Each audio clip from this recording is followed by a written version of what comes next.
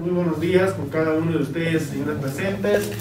Eh, permítanme saludar a nuestra primera autoridad, nuestro gobernador regional de Huancavelica, el doctor Maciste Díaz Abad, nos acompaña el día de hoy. También nos acompaña el director regional de educación, eh, también el director de la DRE de Huancavelica y cada uno de ustedes maestros. En primer, en primer lugar, eh, permítanme hacer llegar el saludo extensivo a cada uno de los maestros. Eh, este día 6 de, de, julio es un día importante para cada uno de ellos. Mi reconocimiento a toda la labor y mi reconocimiento también como es uno de los sectores muy importantes dentro de nuestro estado peruano y más aún, nosotros como sector salud, es, podemos decir que es nuestros aliados principales. Y es así de que el día de hoy va a ser eh, un tema muy importante porque estamos dando el lanzamiento oficial de la vacunación a todos los maestros de las áreas rurales y como meta regional tenemos que vacunar en esta primera fase a 6.270 maestros dentro de la jurisdicción de nuestra región de Huancavelica de las áreas rurales. Pero sin antes, no dejamos descartar, se están haciendo las gestiones y nuestra intención es, ¿por qué no vacunarlos la protección a todos? En ese sentido, en ese camino estamos. Tenemos que ya ir empezando con coberturar este importante número de docentes y obviamente con la colaboración de nuestro director regional de educación y cada uno de las mujeres. El día de hoy se tiene una reunión para afinar los detalles y que esta vacunación que el día de hoy se va a dar por lanzamiento que va a ser desde el 8 hasta el 14, se desarrolle de manera exitosa y también eh, obviamente con el respaldo de nuestro gobernador porque muy preocupado a ellos se ha dado también esta aceptación por parte del Ministerio de Salud para vacunar. En ese sentido, yo creo que la vacuna es un bien público que nos permite reducir los, los casos de muertes, nos permite reducir el tema de casos complicados del COVID, pero no hay que confiarnos. La vacuna no evita que uno se vuelva a contagiar, pero sí nos previene de las formas graves. Y muchas veces lo que pasa es, ya me vacuné, pienso que ya soy inmortal a dos a tres días. Los cuidados y la responsabilidad social como persona, como familia, tienen que estar latentes. Los cuidados de protección tienen que estar latentes, vigentes en todo momento.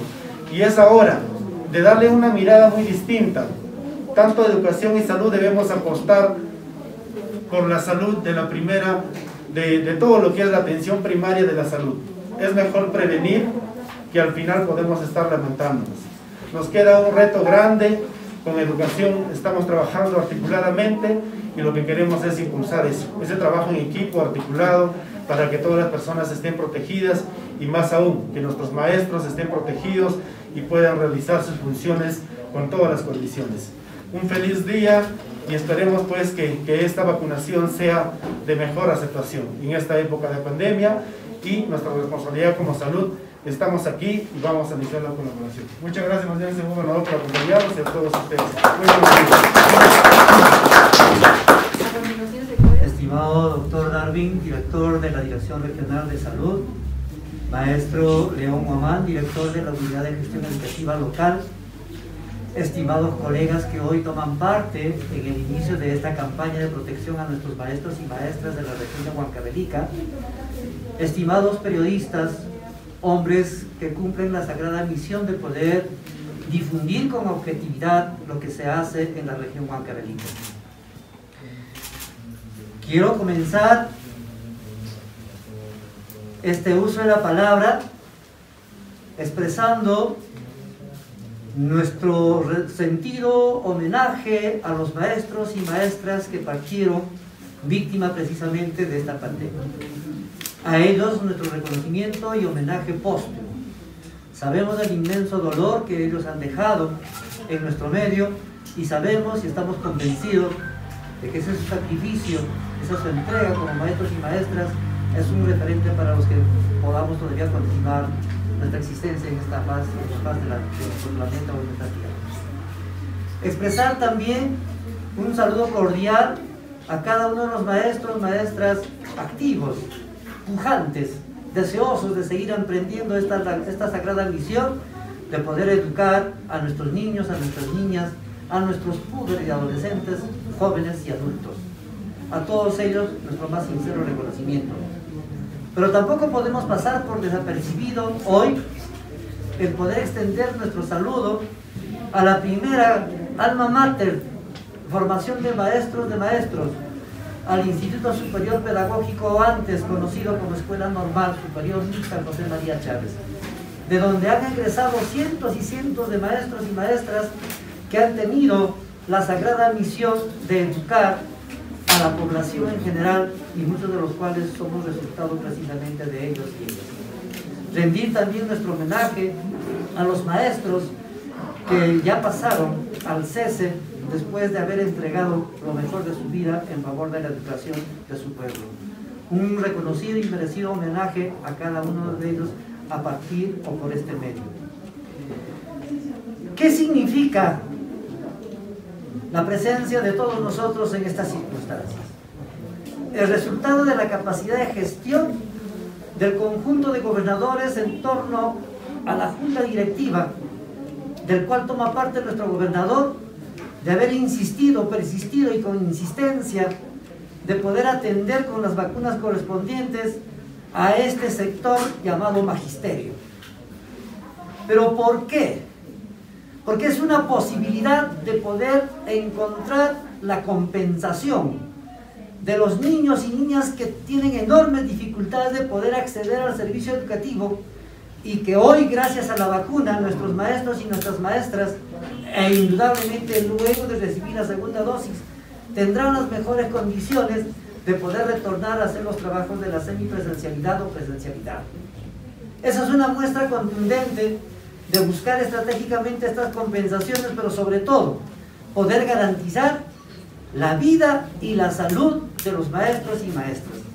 Esa es una expresión muy concreta del interés que se tiene desde nuestro gobierno por cautelar la salud de la población y por atender también esta necesidad de poder educar a nuestros niños y a nuestras niñas.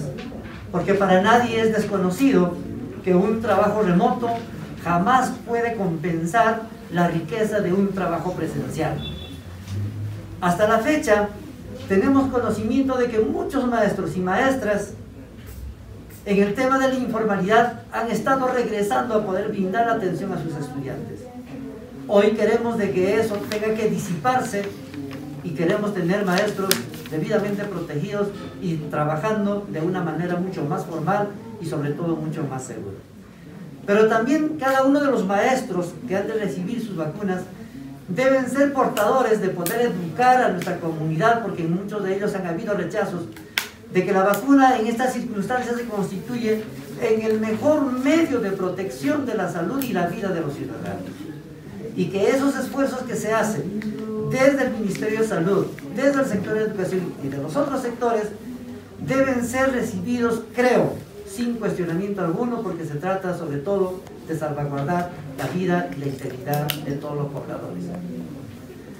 Maestros, maestras, en verdad Mañana es un paréntesis, como lo dijo el doctor Darwin, estamos en pleno sinceramiento de esa data porque los maestros tienen un comportamiento muy dinámico.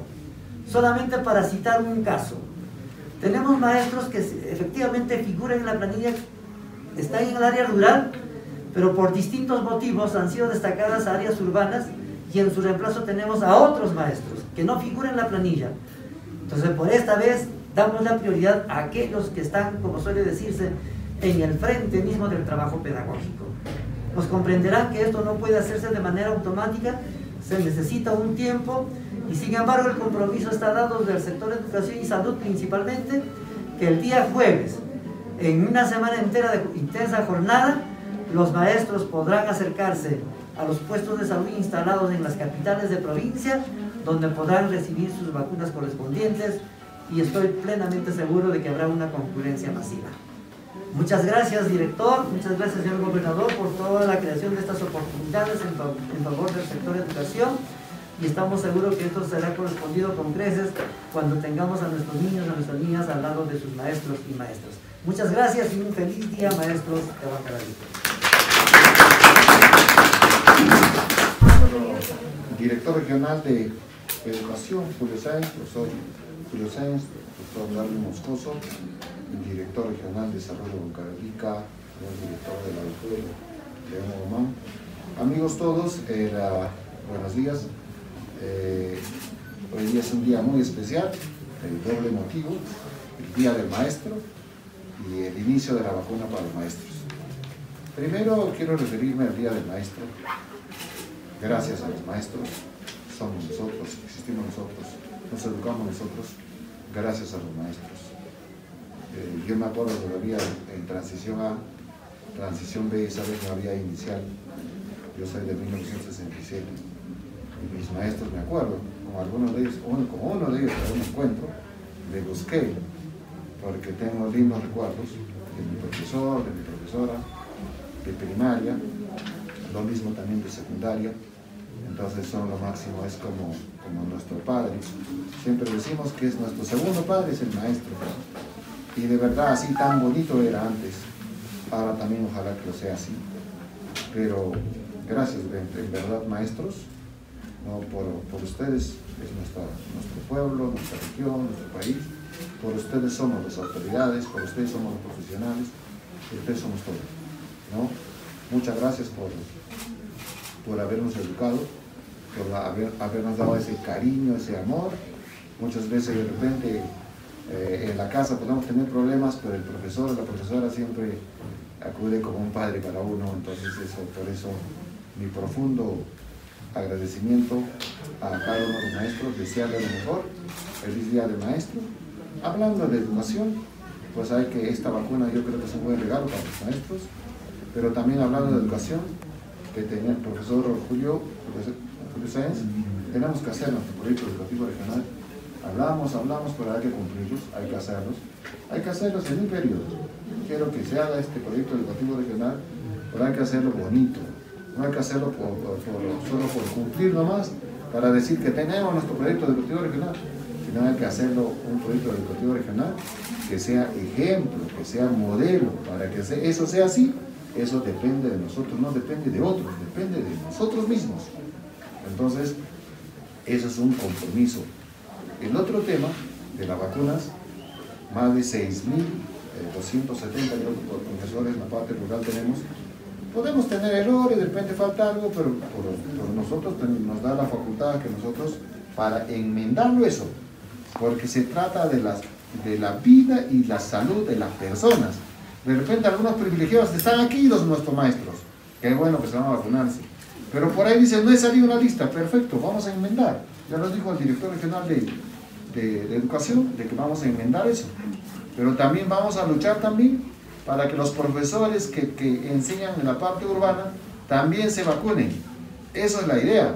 Ahorita tenemos nosotros un grave problema. El grave problema, aparte del COVID-19, es la, conectividad. Entonces, por allí estamos maquillando de repente, tanto por ciento estamos llegando. Mentira. Hay que pisar tierra, hay que decir las cosas como son. Entonces, internet no hay cobertura. Y ahora último, por ejemplo, creo que todos los los celulares están fallando, entonces de ahí como que no está bien, pero casi siempre muchas zonas no tienen acceso a internet. ¿Qué clase están recibiendo nuestros niños, niñas en el campo? Esa es una preocupación. Entonces, qué bueno que van a vacunar a nuestro profesor de la parte rural. Entonces, de, de hecho, también miren, ese problema grave de conectividad tenemos en el campo y primero que vacunen a los profesores del campo, de, la parte rural, me parece extraordinario, pero también vamos a luchar para que nuestros profesores también de la parte urbana también se vacunen. Entonces de esa manera podemos ya abrir, aperturar, ¿no? abrir las puertas de nuestros centros educativos, tanto la parte rural y urbana también, eso es la idea. Entonces eh, yo quiero que se vacunen todos y también aprovechar es por este medio que algunos programas no se pueden, miren, mis respetos a todos los medios de comunicación. Yo siempre los respeto. Pueden hablar, criticar, lo que sea, pues mis respetos.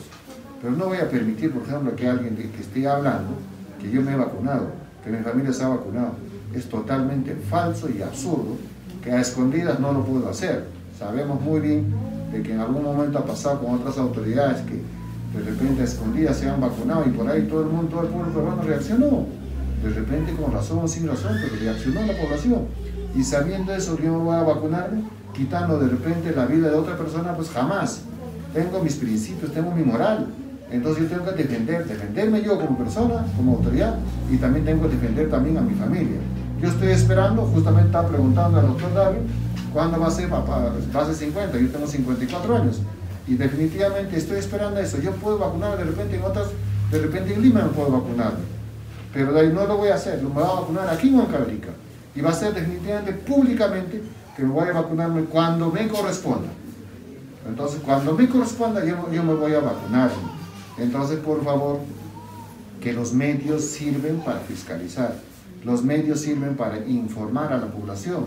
Por eso aplaudimos, sino cómo se entera nuestra población, qué es lo que está pasando, qué es lo que está sucediendo en nuestra población. Pero tiene que ser información veraz, información con investigación. No, pero así nomás no. Entonces, desde el gobierno regional, nosotros felicitamos, agradecemos al presidente Francisco Sagasti por su gesto con Huancavelica, primero que nos trajo más de, nos trajo más de 26 mil vacunas para algunas regiones, reaccionaron como, como Piura mismo, que yo no estoy de acuerdo, tampoco un comunicado que sacó de ese entonces la Asamblea Nacional de Gobiernos Regionales, yo no lo comparto, porque no solamente para los que tienen plata o las regiones bien desarrolladas que lleven bastante, y a nosotros se olvidan, siempre se han olvidado de las regiones como Huancavelica. Entonces, en, una reunión de los CICs que vivía en Lima, entonces al señor ministro de Salud le dije que el presidente de todos los peruanos y el presidente tiene que apoyar, tiene, tiene que apoyar a las regiones más vulnerables. Y las regiones más vulnerables son las regiones menos desarrolladas de nuestro país, que uno de ellos es Huancavelica, y el presidente, el propio presidente Francisco Sagasti, conjuntamente con el ministro de Salud, vinieron, trajeron más de 26 mil vacunas.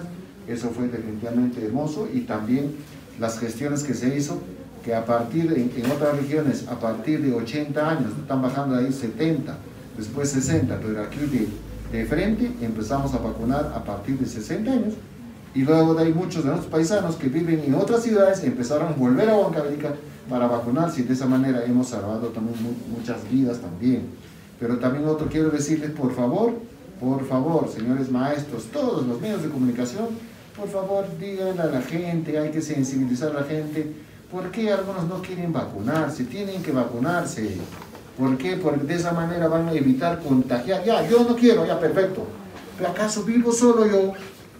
Entonces, de repente, por mi desidia mismo, por mi orgullo, de repente me contagio, lo va a contagiar a la familia, al vecino. Entonces, de repente a mamá, o a papá, o a la abuela, o el abuelo, ahí va a haber problemas. Entonces ahí podemos, por nuestra desidia mismo, por nuestro orgullo, no, yo no quiero vacunarme. Entonces eso me hace daño. No hace daño, todo el mundo se ha vacunado, se han vacunado los jefes de Estado a nivel mundial. Los grandes funcionarios, los grandes empresarios se han vacunado. Entonces está garantizado a nivel mundial si es bueno para la salud, para evitar el contagio. Pero también por ahí no vamos a decir, ya me vacuné, por lo tanto voy a tomar donde sea. Entonces así no es tampoco siempre tenemos que seguir cuidándonos nuestra salud cada uno. Si yo me cuido, cuido a los demás. Entonces eh, declaro esto, lanzado este, este programa de vacunación a nuestros maestros de, de en el Día del Maestro. Feliz Día del Maestro a cada uno de ustedes. Muchas gracias.